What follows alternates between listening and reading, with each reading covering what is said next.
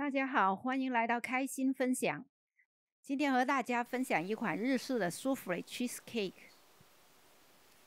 实质上啊，这款蛋糕跟我之前做的日式芝士蛋糕是材料是相同的，但是呢，分量就有点不同了。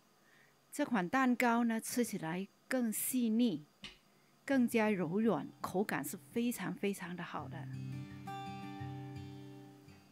我们现在把这个 cheese 牛油和牛奶放到一起，把它做热水融化。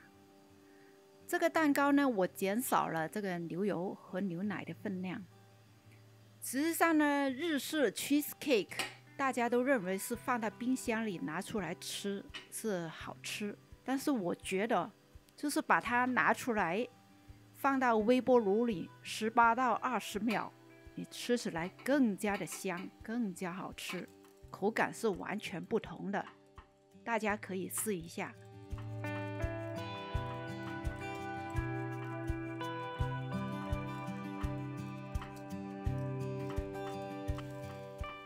现在还有一点点颗粒，没关系，就是把热水移开，我们继续把它搅拌至那个 cheese 就是光滑。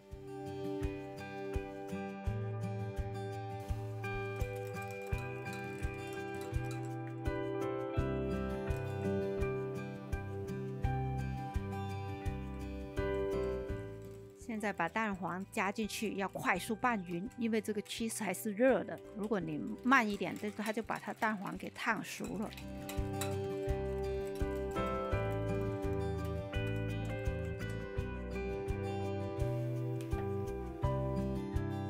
把这个面粉跟玉米粉一起塞进去，分三次加。那大家拌这个。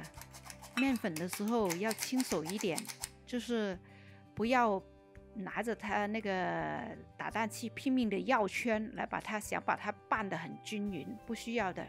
因为你把这个面粉呐，如果拼命的这样搅搅拌它呢，它会起筋的。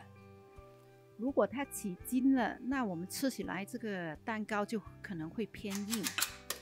但实际上呢，就是面粉分高筋、中筋、低筋面粉。高筋面粉通常用来做面包，那低筋面粉通常就用在做这个蛋糕。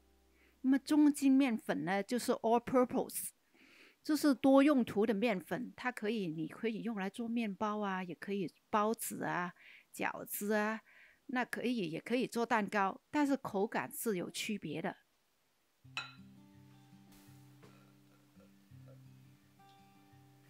那我们现在呢，把这个酱啊放到那个筛子里，把它过滤一遍。那么我们做出来的蛋糕就更加细腻，口感就更好。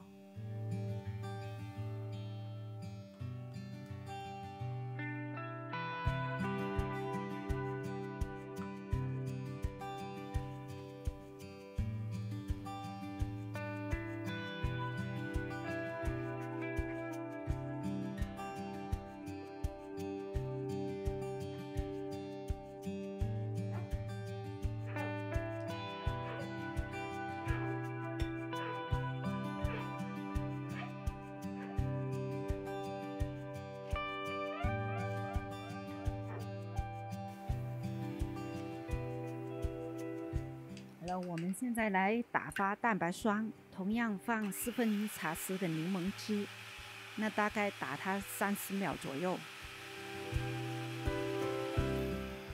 现在把糖也放进去，我是也是一次性的放进去，用中速打发。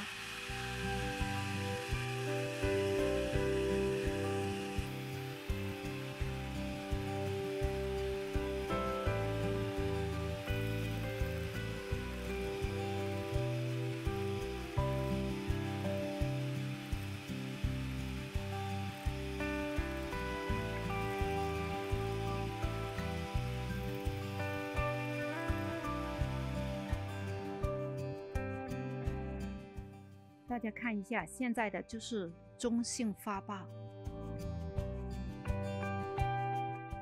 这个是有个有个弯钩的，就是中性的打发。现在这个呢，就是硬性的打发，就是这个这个尖是直的。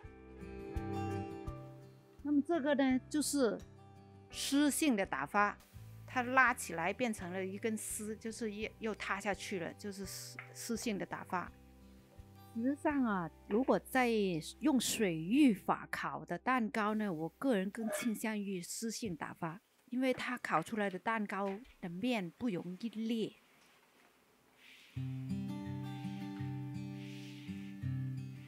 但是如果你烤赤峰蛋糕，你想它就是我想发的高一点，啊，就是好像，啊，有句俗话就是发财了，发财了，我要它要它要裂开我就发财了，你就把它打到中性中性的偏干一点，那没所谓的。当然啦，你如果这个蛋糕是拿来卖的，肯定要不裂的就好一点了，就好看嘛。但是如如果是自己吃，就不要太过于纠缠。当然，你不要把它打发过度了，打发过度，它就蛋糕就烤出来就分层了。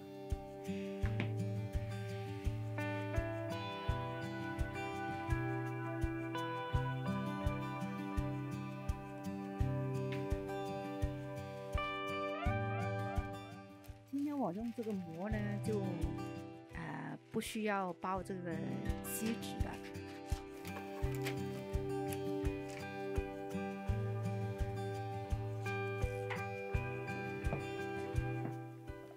的烤烤法也是同样的，用这个温水浴。那么呢，我就先把这个炉子调预热到一百一十度，那么先烤六十分钟，然后呢，一百六十度烤十五分钟上色。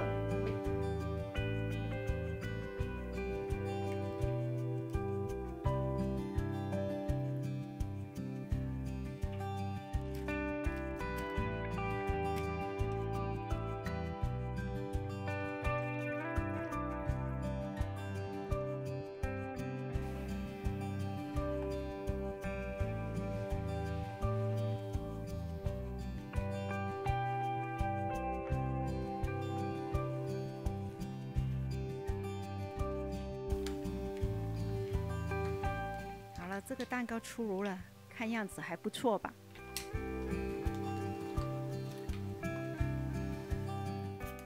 这个蛋糕吃起来非常的好吃，大家有空就试做一下。